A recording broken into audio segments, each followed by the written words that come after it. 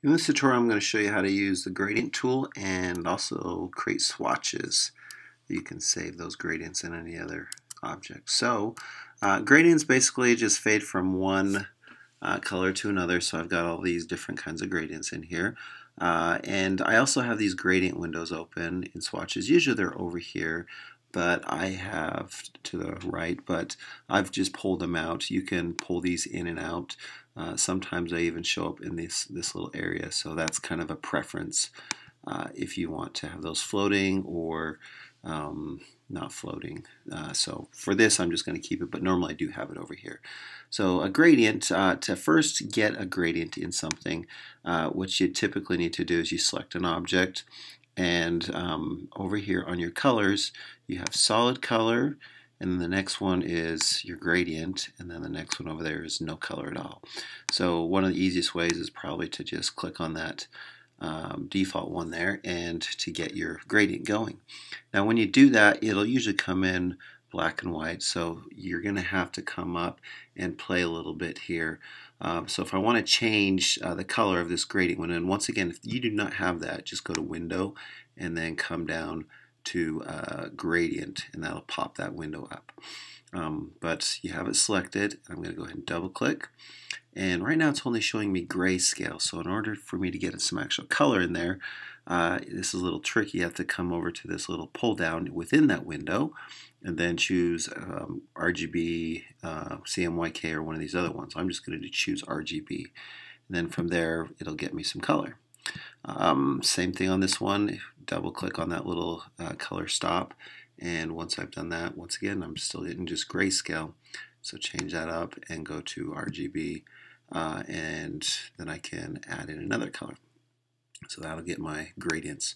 Uh, from there, I can do all kinds of fun stuff. So if I want to just go underneath and click underneath it. Uh, that'll give me another color uh, stop so I can add a third color and a fourth color. If I want to get rid of one, you just click, hold, and drag and pull that below you. You can move these around to affect the gradient. Uh, you also have these diamonds and that kind of affects how your gradient is going to look as well. Um, up here I've got an angle, so if I want to change the angle, I could either type it in or I could choose one of these presets. If you're on an older version, you just kind of drag this little slider bar. Uh, so that's kind of your basic uh, gradient uh, tool. Uh, you also have radial gradients that you can play with. Um, and depending on the shape, it'll show up and they're different. So I'm on a square on this one, so it kind of shows up a little bit different than on some of these circle shapes uh, on there. If you want to get a little bit even more advanced, maybe I want to take this gradient and have it start up over here with the radial gradient.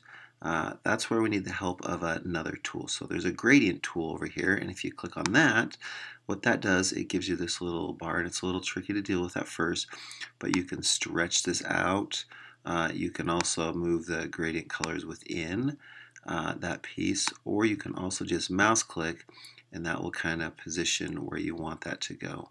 So some interesting tools. It's a little tricky at first uh, if you're using this more advanced tool, uh, but can do some really cool effects uh, with that. Uh, the last thing I want to show you is how to get it into your swatches if you have one that you really like and you want to save it. Uh, from your gradient tool, if I want to save that, I would just take that gradient and just drag it over into my swatches and that would put that in that color.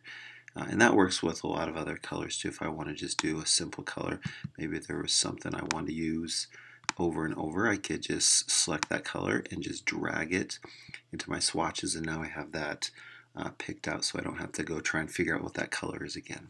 So that's gradient swatches.